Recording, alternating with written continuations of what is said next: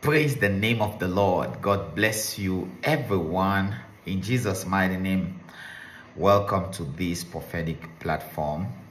If you're new here, my name is Samuel E. Molombe, the man God uses. And I am excited to bring the word of God to you today. I'm excited to bring this timely prophetic word to you today in Jesus' precious name. So it's been a while. I dropped um, a word.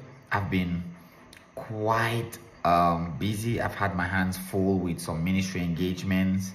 Um, over the last two weeks or three weeks, I've been to the US, I've been to Uganda, I have had several meetings back at home.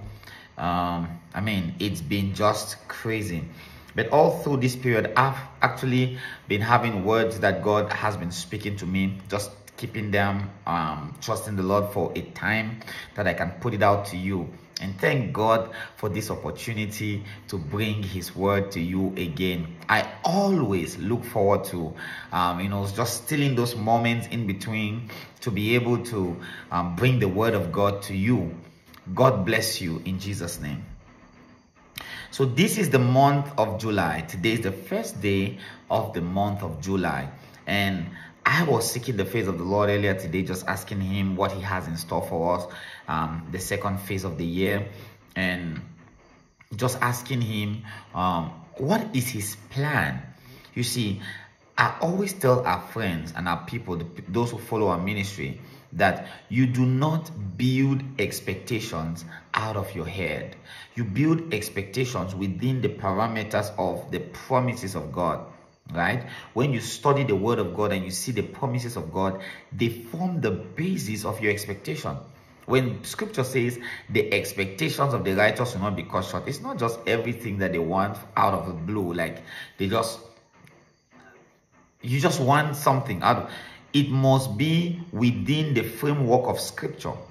God is committed to his word. God is committed to his will. God is committed to his word and his will over your life. He's not committed to your wishful thinking. The Bible never said, and God shall supply all your wishes. According to, according to his riches in glory. No, God is committed to his word. So when you begin to align your expectation with the word of God, that's a recipe for miracles.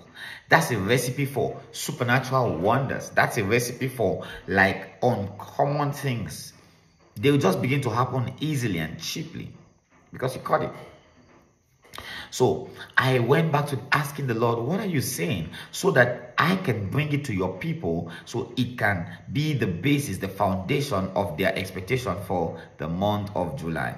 And the Lord gave me seven powerful prophetic blessings that I have shared on um, the, the prophetic prayer today. And I'll share with you if, um, just in case you did not actually watch it.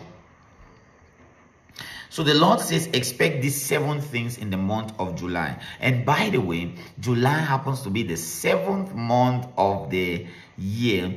And the number seven is the number of um, completion, is a number of perfection, is a number of fulfillment. So when you see the number seven, it's talking about perfection. And God is promising to perfect the things that He has begun to do in your life even this season. Number one, I wrote it down. Number one is double portion. God says expect a double portion release in this seven months. Expect a double portion release. The Bible says in Joel chapter 2 and verse 23 that who amongst you saw this house in its previous state? God says he will double the later the, the, the former rain and the later rain and he will give it all in this first month of the second half of the year. That's what is in that scripture. If you look at Joel chapter 2 verse 23, you see there. So God is saying that you should expect a double portion in this season. Expect it. Expect a double portion expect to receive double of the things that he has promised. So what you did not see in the beginning of the year, the first half of the year, you're like, oh, maybe it has come, it, the, the, the first half of the year has passed and you have not yet received that.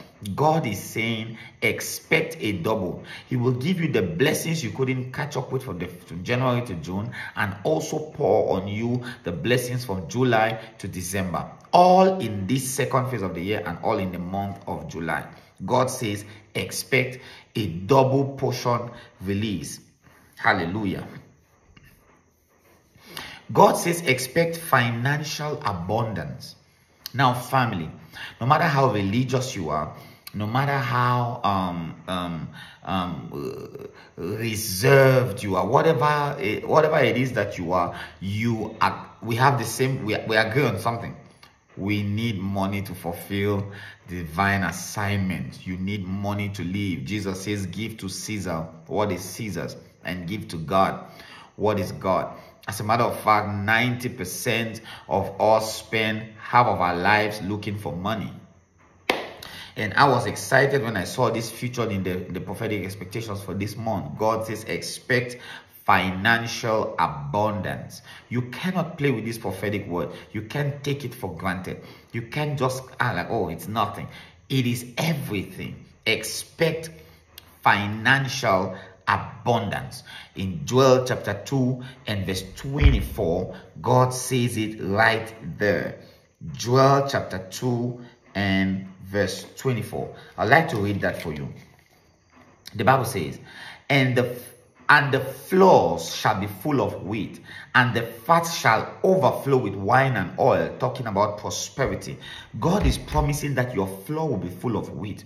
You will have so much, so much financial abundance. And God says the third thing you should expect is restoration.